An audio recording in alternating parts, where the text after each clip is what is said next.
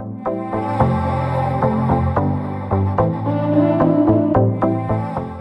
ីវប្រវត្តិរបស់លោកពេជ្រឋានា ដែលមានឈ្មោះពិតហៅថាពេជ្ររដ្ឋាអាយុ28ឆ្នាំ មានស្រុកកំណើតនៅខេត្តបន្ទាយមានជ័យហើយក៏ជាអតីតម្ចាស់ផលិតកម្មសស្តាផងដែរលោក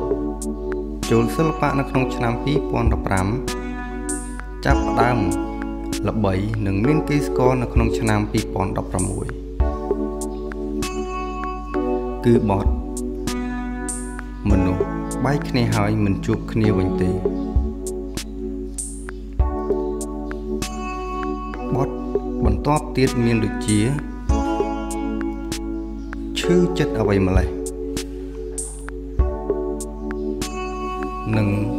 បត់ដែលមានការគ្រប់គ្រងខ្លាំងនិងមានគេស្គាល់លោកកាន់តែច្រើននោះគឺបត់មានប្រពន្ធល្អមិនចេះថែ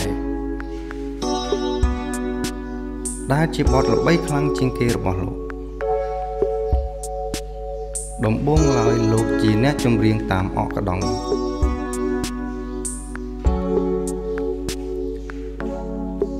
លោក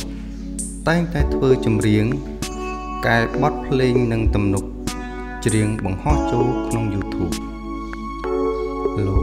និពន្ធខ្លួនឯងនិងច្រៀងខ្លួនឯង